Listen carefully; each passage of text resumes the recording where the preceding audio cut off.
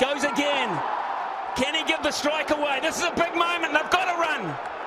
They go to the other end. Oh, he gets in the way. This is going to go all the way to the boundary off the bat. Can you believe this? It has. I do not believe what I've just seen. And it will go down as six, and Ben Stokes cannot do anything about it. He can only apologise.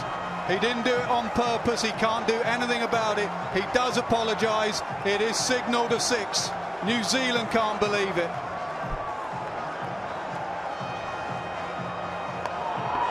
Totally inadvertent.